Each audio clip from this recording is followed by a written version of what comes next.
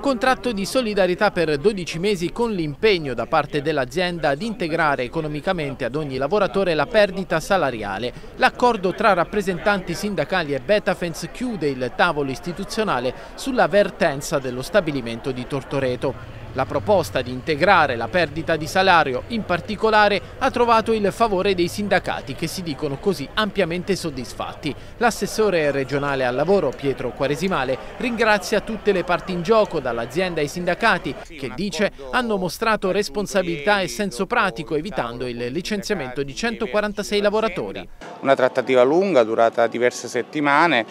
ma sicuramente un epilogo positivo e importante per tutto il territorio perché un'azienda così importante rimane nella nostra provincia. Voglio ricordare che a luglio questa azienda aveva intenzione di delocalizzare il sito in Polonia,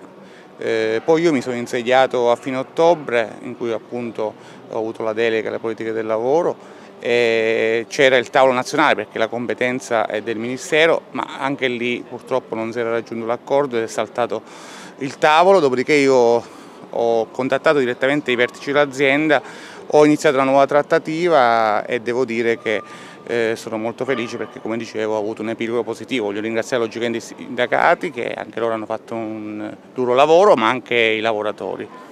Al termine dei 12 mesi di contratto di solidarietà, l'azienda potrà far partire la ristrutturazione, prevedendo la cassa integrazione straordinaria per 24 mesi, situazione però di cui si parlerà il prossimo anno.